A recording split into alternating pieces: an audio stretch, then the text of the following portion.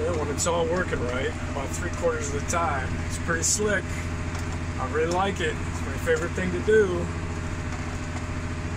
I'm just about finished up with the corn. If you can see it's starting to sprinkle a little bit. I've Got about 10 acres more to go on this field. And then uh, I'll be done with all the corn. There's 90 odd acres.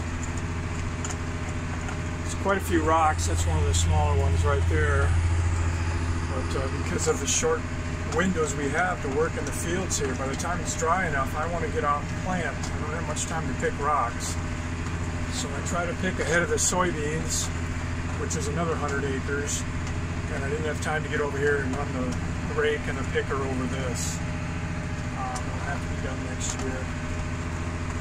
But all in all, it's going in pretty good. About 34,000 uh, seeds per acre, two inches deep. They spread uh, three tons of turkey litter on this, and we field cultivated it in. Yesterday, my dad field cultivated this.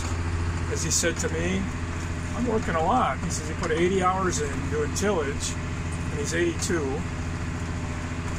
don't think he's got this secret life most people don't know about, and most of his friends think he's a mild-mannered, retired, semi-retired accountant, but it's pretty incredible.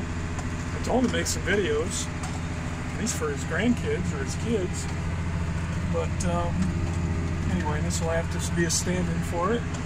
So thanks, Dad, if you watch this. You really helped me get it done. And I said, well, I can hire somebody to do it. He's like, no, I want to do it.